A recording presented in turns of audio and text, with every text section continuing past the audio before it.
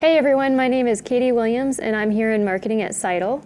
Hey everyone, my name is Greg Hagelin. I am sales director and also your host of the webinar that we just did this past Wednesday.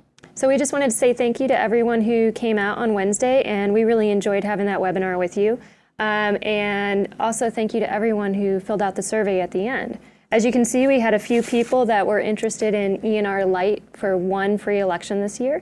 And now we're going to draw the name. Greg, do you mind doing the honors? Absolutely. Do you want me to close my eyes? Yes, please. Can I peek? Don't peek. Okay, I won't. So let's see here. Dig in here really good. Oh, I think I got one. Oh, I had right. two. There you go. Would you do the honors? Yes. All right. So we have Melynn Huntley in Potter County, Texas. Hey, congratulations. Congrats, Melanie. And thank you. Yes, thank you. And thank you everyone for attending our webinar. And we look forward to seeing you on future webinars as well. Thank you, guys. Thank you.